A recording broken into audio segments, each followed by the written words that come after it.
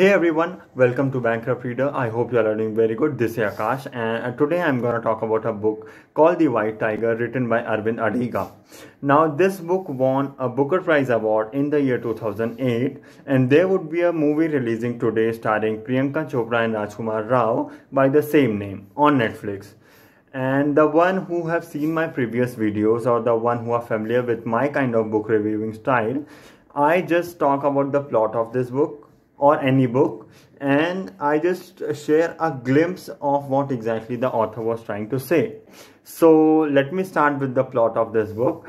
I won't be giving any kind of spoilers, just a hint of a plot. So the story of this book is about a guy named Balram Halwai who is living in a rural part of India, somewhere in Dhanbad he is poor and he wants to afford all those luxurious lifestyle that most of the rich people are affording. But since he is poor he is lacking those opportunities. Still after struggling so much he finds a driver's job in the landlord uh, i mean in his village there's a landlord and he finds balram halwai finds a job of a driver. And after years and years of serving his master he somehow becomes an entrepreneur. But he has done one more thing, and that is he's a murderer. Yes, he has killed someone. Why did he kill? And to whom did he kill? For that, you need to read The White Tiger written by Aravind Adiga. So the author has shown a light on our real India, that, that is dark side of India, how dark India is in India, in our country, there are two parts. One is light and one is dark. There are people in the dark side who are poor and they are somehow struggling with their life. So this dark side of India is shown.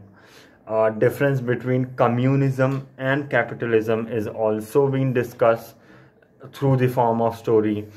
Uh, democracy politics and corruption has also been discussed. And how even though there are people who are poor they still have that talent and everything and capability but still they struggle to live.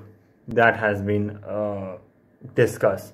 Uh, it's a beautiful book. It's a very beginner friendly book. I would recommend you all to read this book.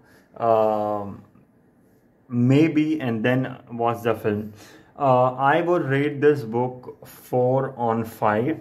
Mm, there were certain instances which I didn't like. You'll know when you read.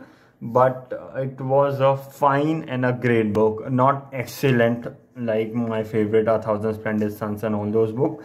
But it was fine. So I've rated 4 on 5. Uh, till then, I hope you all would be safe. I'll be keep talking about some good books